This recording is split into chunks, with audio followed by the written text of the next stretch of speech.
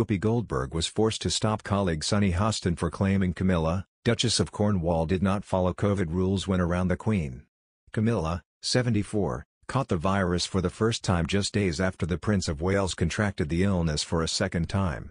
The Duchess carried out a string of engagements last Thursday, the day Charles tested positive.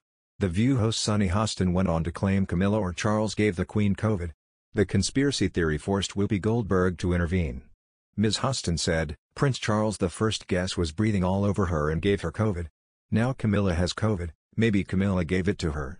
Whoopi interjected, maybe she just got it in the air like everybody else.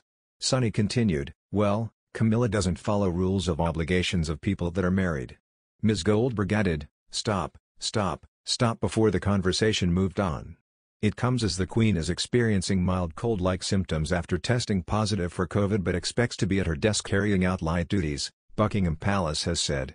Concerns for the Queen, 95, will be heightened given her age and recent health scare but it appears the head of state is determined to carry out what tasks she can despite contracting the virus. The diagnosis follows a string of COVID cases among the royal family and the Queen's Windsor Castle team, with the Prince of Wales meeting the monarch the week he tested positive, and the Duchess of Cornwall also isolating after contracting the virus.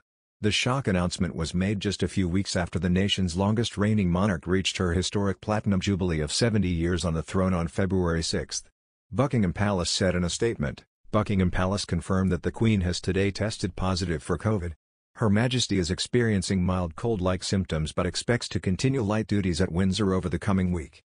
She will continue to receive medical attention and will follow all the appropriate guidelines.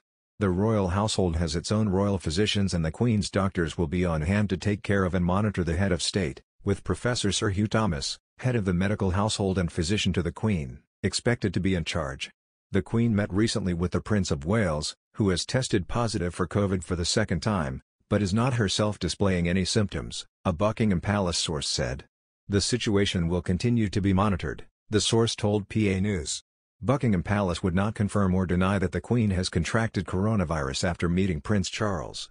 Charles, who first fell ill with COVID-19 in 2020, was said to be deeply disappointed to have to pull out of engagements in Winchester after a positive test on Thursday.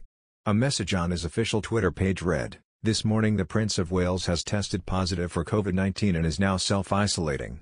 He will now need to self-isolate under current rules for 10 full days, but he could be free after 5 days if he tests negative on day 5 and day 6. Camilla tested negative on Thursday morning and continued with a busy day of solo engagements in London and Buckinghamshire, speaking for the first time of how she very honoured and very touched to be endorsed by the Queen as a future Queen consort.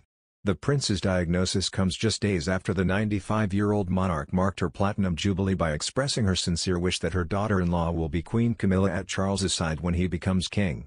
On Wednesday evening, Charles met scores of people and was accompanied by Camilla at a reception in the British Museum to celebrate the work of the British Asian Trust,